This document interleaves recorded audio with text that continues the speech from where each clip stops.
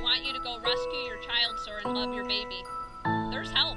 If you need help raising this child, there's help for you.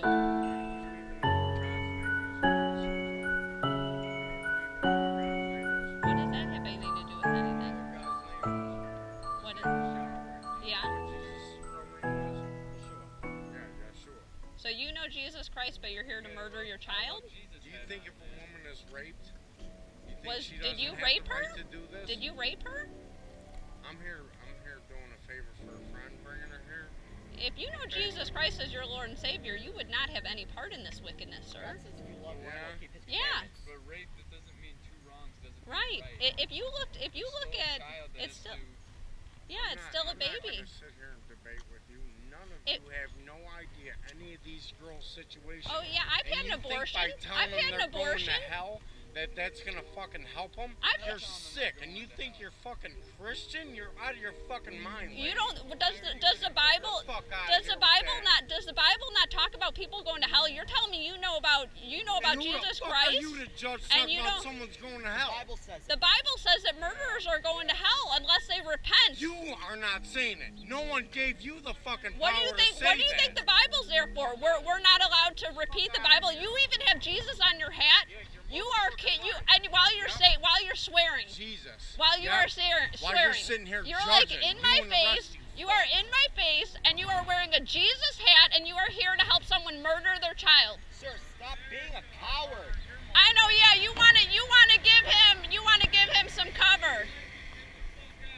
Right. Well, you know, we don't, we don't talk like that, sir. You know, because we have a God in heaven that we fear and that we love. You can go in there and try to, you can take this information and go in there and say, I'll help you. Why are you helping her murder her child? You, if you want to help her, you can help her love her child. You could help her love. Why she be like Satan? You could help her love and take care of this child. Instead, you're helping to murder this child. And you asked about a child conceived in rape. Sir, if you look at two ultrasounds of two babies, and one was conceived in rape and one wasn't, if you look at those ultrasounds, can you tell the difference?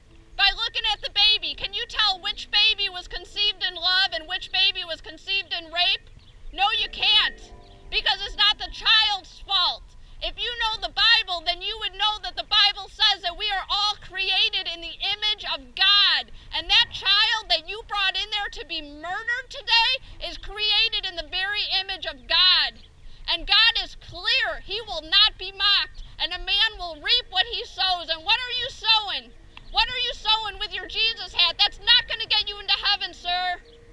The Bible says that you will get into heaven if you know Jesus Christ as your Lord and your Savior. And you know what Lord means? It means you're going to follow after Him as your number one. You're not following Him.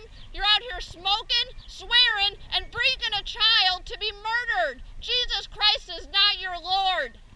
But you can go in there and you can tell that girl that there's another way. And you know what? There's so many men who do that. There's so many men that come out here and they smoke and they listen to us, and you know what they do? They go in and say, We made a mistake. We got to get out of here. And those babies are saved. And there was one sidewalk counselor just about a month or two. She went and she watched this baby. This baby was born. She got to hold this baby in the hospital. And guess what?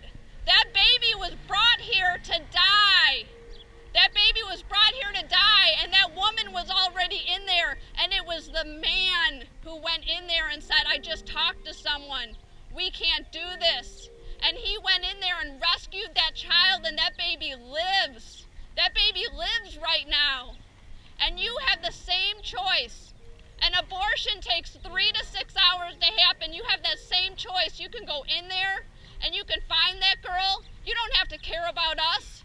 We're people you never have to see again. But that baby, you can be a hero and you can go in there and try to save the life of that child. And there is a place, a block down, that could provide her help and assistance if that's what's needed, sir. Sir, God will not be mocked. You will reap what you sow. You're either going to sow life or death. What are you going to do